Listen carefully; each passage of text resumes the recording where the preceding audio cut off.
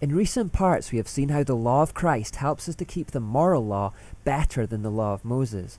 But if we place the new and old laws side by side, we can see that perhaps the most significant difference between them is the freedom we now have in neutral issues. Whereas the old law of Moses had many strict rules on neutral things like food, clothes, drink, and ceremonies, the law of Christ actually says nothing specific about neutral things at all. All those laws have been stripped away. Have faith, then love God and others is a very open ended command on that front. How do you love God and others with neutral things? Things like wood, grass, cotton, metal, stone, vegetables, plants, earth, trains, musical instruments, shoes, hats, dinners, computers, footballs, plastic chairs, wooden chairs, barbecues, television sets, windows, airplanes, money, stuffed animals, toothpaste, and light bulbs. How do you fulfill the law of Christ by loving God and others with these? Well, that's up to you. You are free now to offer love authentically, spontaneously, and extravagantly in any way you choose. What I mean is, God doesn't so much care what you do with those things as long as you're motivated by love of Christ and others and therefore fulfilling the law of Christ. Or as Paul puts it, whether you eat or drink or whatever you do, do it all for the glory of God. Just do what you do for the right reasons. The internal is more important than the external. Follow the voice of the Spirit, listen to your conscience, act on His prompts, give freely. Let's take money as an example.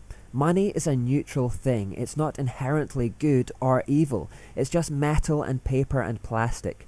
Under the old law of Moses, there were specific rules on such things. People were required to give 10% of their income to the temple.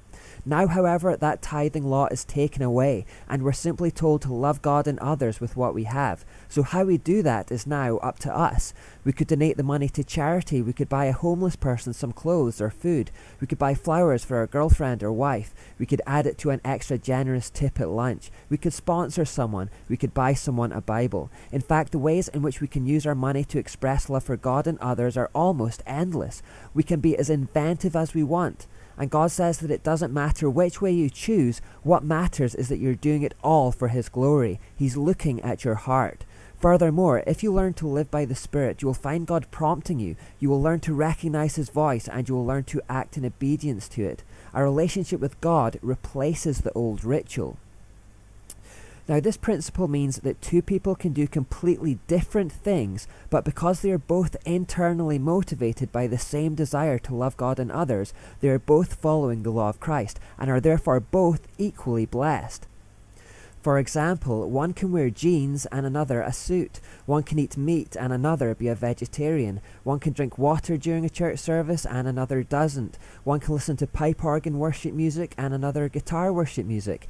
As long as they are all motivated by the same love of God and others and have a clear conscience about it and are reacting to the voice of the Spirit, they are all in fact following the law of Christ and God approves of all of it. The outward result of each person's love looks different, but the inner motive is all the same in each person. Again, God doesn't care so much what you do as He does your reasons for doing a thing. It's all about the motive. The motive tells God whether you are living for Him or yourself.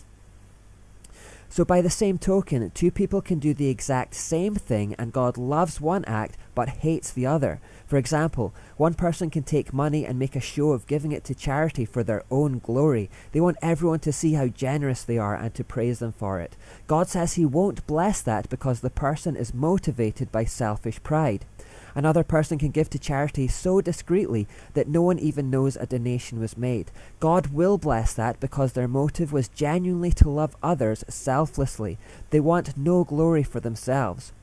Now both have given to charity, the external act is the same, but one was following the law of Christ by their giving, and the other was actually following the law of Satan. They were motivated by selfish pride. So this may be surprising, but it's possible to give to charity sinfully. Inside is more important than outside.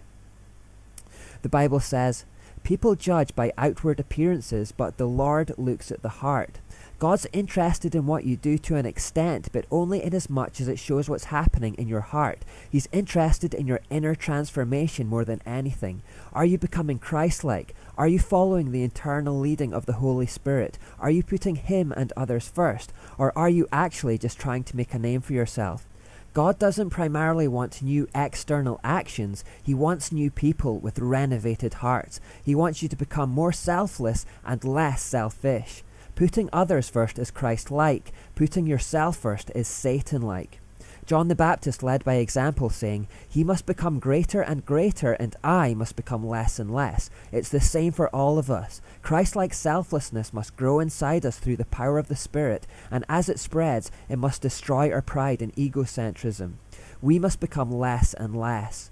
In all you do, ask yourself, Am I doing this to glorify myself or God? Jesus says that on the day of judgment, a lot of people are going to come to him saying, Don't you remember the time I did this for you? Don't you remember the time I did that for you? And Jesus will say, I never knew you. This is very important for those involved in Christian ministry. Are you up on the stage because you genuinely want to serve God and others, or are you up there because you love the limelight? There's a sense in which our ministries, our worship, our preaching, and even our good acts can become sinful in the sight of God if we are motivated by selfish pride.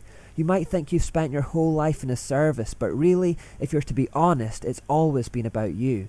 Be careful with that. You must be willing to make yourself nothing in the world's eyes in order to be everything in God's. Paul writes to the Corinthians on this subject, saying, So be careful not to jump to conclusions before the Lord returns as to whether or not someone is faithful. When the Lord comes, he will bring our deepest secrets to light and will reveal our private motives, and then God will give everyone whatever praise is due. So God will judge based on what privately motivated us. In neutral matters, what we do is not as important as why we're doing it. Having been given freedom from the written law by Christ, we can now use that freedom in one of two ways to serve ourselves or to serve others. Therefore, motivation is more important than action. Remember that. Let me give a few illustrations as to why we already know this is true.